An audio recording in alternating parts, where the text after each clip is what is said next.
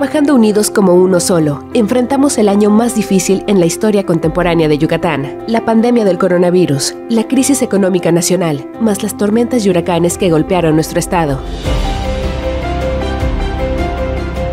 Por eso, para impulsar nuestra reactivación económica y apoyar la economía familiar ante la contingencia por coronavirus, entregamos casa por casa apoyos alimentarios en todos los municipios, seguros de desempleo para quienes se quedaron sin trabajo, apoyos en efectivo a pescadores, créditos y apoyos a productores del campo, emprendedores, micro, pequeñas y medianas empresas, con el objetivo de que puedan mantener sus negocios y empleos.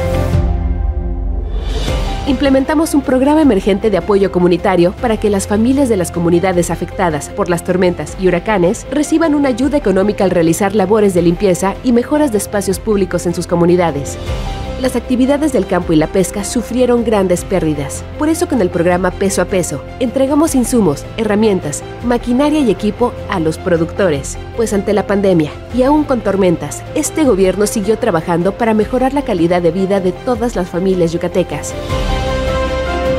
Las y los yucatecos actuamos a tiempo para enfrentar el año más difícil de la historia contemporánea de Yucatán.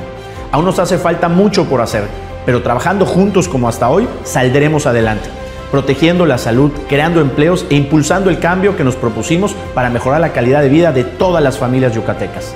Unidos para seguir cambiando.